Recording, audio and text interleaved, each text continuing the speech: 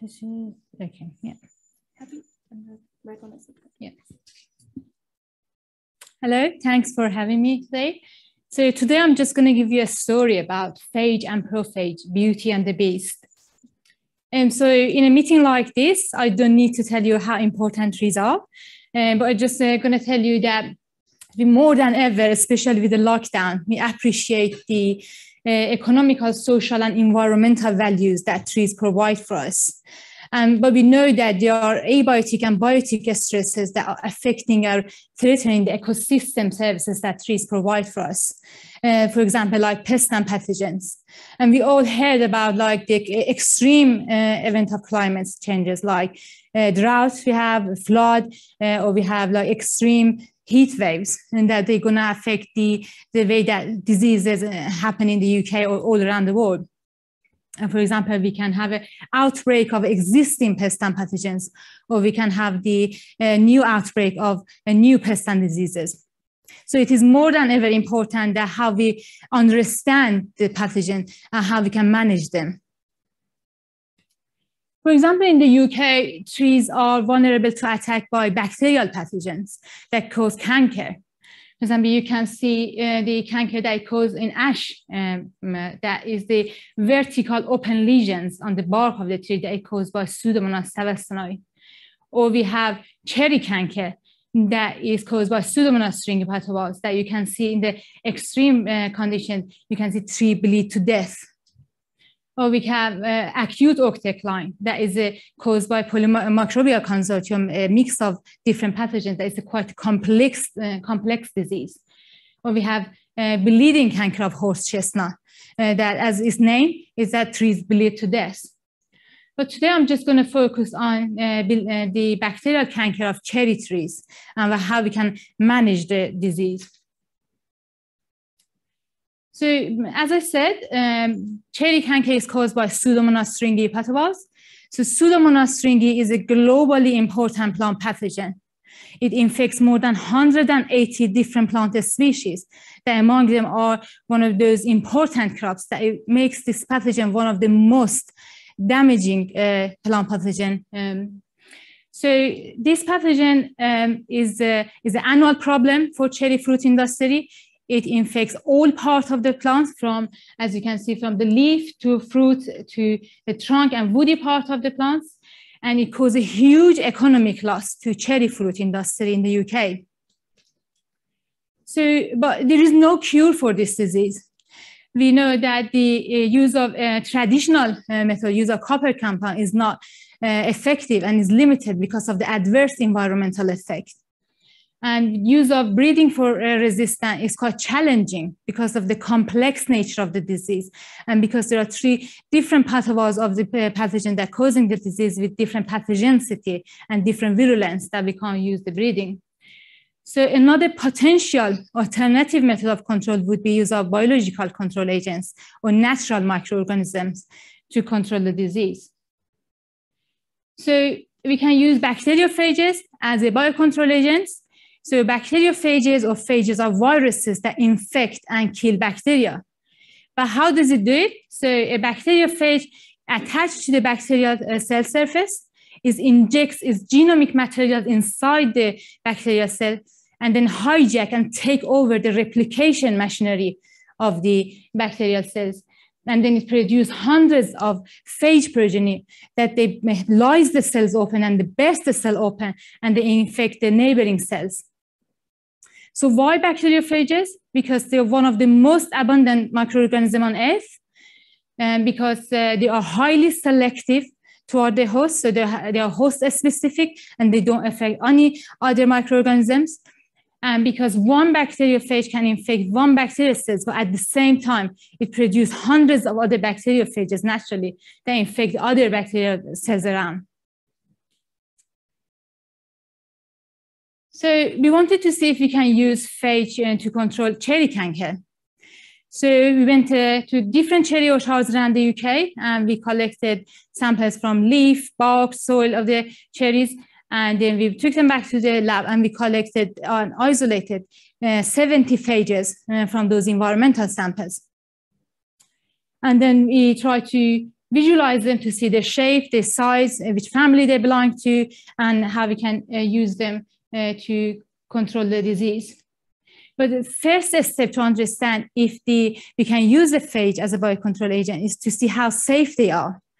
For example, if they can infect any other uh, microorganisms. So as I said, they are so uh, host specific. But we wanted to see if they affect any like beneficial microorganisms that are out there in the plants.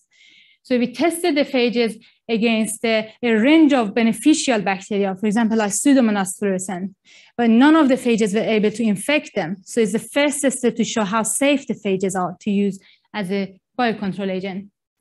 The next step to see how safe the phage are is to genome sequence them and understand what is in the gene. Do they have any virulence genes inside the genome, or do they carry any lysogeny genes that make them uh, to change their life cycle from lytic to lysogenic? I will talk about this later.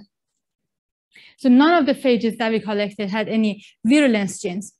So based on these results, we narrowed down our phages to 13 phages, and we started to understand how effective they are in uh, killing bacterial cells. So we want them to kill bacterial population as quickly as possible, but we want to for them to keep the population down throughout the experiments that we use. So first we tested them a different concentration of each phage, for example, phage MR1 here and phage MR6. So we tested the uh, bacterial growth in the absence of phage, as you can see, it grows and, uh, and then a different concentration of phage in the uh, bacterial population in the presence of phage. And then we measured bacterial populations every 20 minutes for, for 24 hours. So as you can see, that we understand the, the bacteriophages can kill bacterial population uh, in a matter of few hours. And the, the, the one of the concentration keeps the population down without any bacteria resisting. So next, and now we know that they are safe. We know that they work in the lab. So what about implantal? Can they work uh, when we uh, want to manage the disease uh, on cherry leaves, for example? So we then tested this uh, um, on the leaves. So we first infected them uh, without any phage. So you can see uh, the PSS on its own, the Pseudomonas stringi, Patova stringi and then we tested them using phage individually or in a mixture of phages, or we call them cocktail of phage, and that has we can mix uh, different strains of uh, the bacteriophages that they can target more um, bacterial population. So then we measured bacterial population every 24 hours for 96 hours, and you can see when phages were um, present individually in cocktail, they kept the population down. So I'm, I'm, telling you so far about the, how beautiful phages are uh, to be used as a biocontrol agents. But there is another story to this. So let me tell you about prophages. So I told you about the lytic cycle of phage, but now I'm telling you about lysogenic cycle. So a phage can attach to bacterial cells, but in, uh, instead of in, uh, taking over the replication machinery of the bacterial cells is going to integrate its genome inside bacterial genome. Um, but uh, but under a stressful condition like under UV light or extreme heat wave and stuff, it can uh, leave and excise from the chromosome and become active again. But while it's le leaving the bacterial genome, it can take some of the bacterial genome with it so it can be a virulence gene that is in the uh, reside within bacterial genome, but phage that can take that with it and then transfer it to another uh, bacteria that doesn't have that gene. So the Pseudomonas stringi pathovarmorsporonorum, uh, the race 5244, that is a, a cause bacterial cancer in cherry. It has a prophage inside its genome that prophage carries a um, HPR1 gene, that's a virulence gene. Based on bioinformatic analysis, we know that this prophage is active. So what does it mean? It means that it carries, it has all the component of the phage. For example, it has the head, tail, it has all the component of uh, the DNA packaging and assembling. And But we wanted to test, okay, can this prophage really excise from the chromosome and become active? So we did a series of tests first to see if the phage can, if the prophage can excise, um, and we say yes, it can, and it can circularize, so it means it's active and has this HPR1 gene on it. So next is was to understand if this prophage that has a HPR1 gene, a this virulence, you can move to another population of Pseudomonas syringae, like it's an epiphytic population that lives on the surface of uh, uh, cherry but doesn't cause any damage. Then can this uh, prophage move to the um, uh, epiphytic population and move these uh, virulence genes around? So we mix the bacteria, the uh, 5244 strains that has the prophage with a strain 3.7F that is, uh, doesn't have the prophage inside its genome. And we applied UV treatments as a stress uh, condition.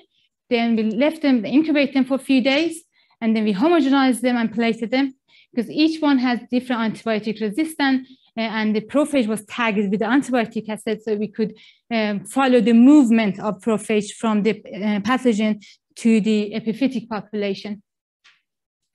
Then we tested then the 3.7F population that we collected, and we used the genes that are only present in the prophage region. So if we get the bands from here, from the HPR1 gene or endolysin gene in 3.7F, it means that it was the genes that were moved when the prophage moved to the uh, epiphytic population. So as you can see, you have clear bands of the HPR1 and endolysin genes that it shows that prophage can move and can move the, uh, the um, genes with it, uh, and then it can move around. So uh, it's quite, um, in terms of the using phage as a biocontrol agent, it's important to understand this aspect. So to sum up, it's just to say that in order to use a phage as a biocontrol agent, we need to understand its genome first. We need to see, look for the lysogeny genes, and we need to look for the virulence genes. Uh, if, they, if, they, if, if a prophage has those genes within its genome, it's not safe to be used. Then uh, the next thing is to understand, as I said, the phages are so host specific. They only uh, attach to the uh, specific bacterial host. So uh, but we can create a cocktail or mixture of phages that can target different population of Pseudomonas, for example, Pseudomonas syringae pathosyringae or Pseudomonas syringae pathoamurosperinorum. So if we use different bacteriophage uh, population that target different uh, uh, bacteria, then we can use a cocktail and with one